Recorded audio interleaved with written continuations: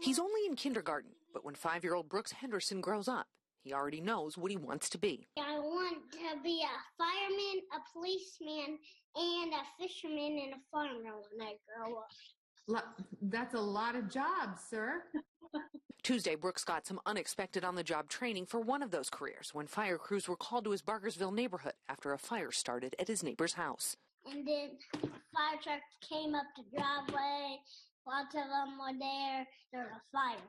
There was a lot of smoke, um, and and as I approached the house, I could see the smoke all.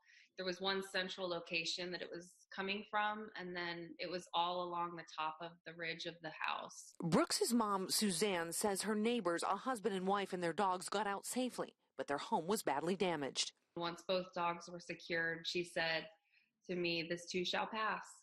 So I, I'm thankful that she has a positive outlook. Helping with that outlook were some of these moments you see here.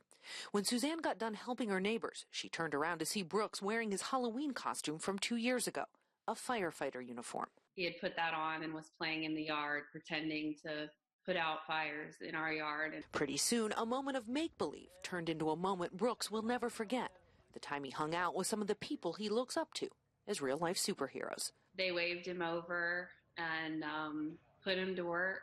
Uh, after their work was done, they helped him roll up the hose, carry the hose. They got him up into the fire truck, um, let him explore and ask a lot of questions. He's a very curious little guy.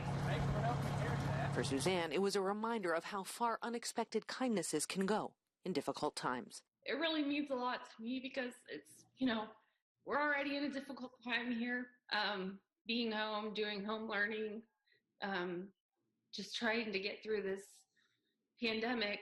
Uh,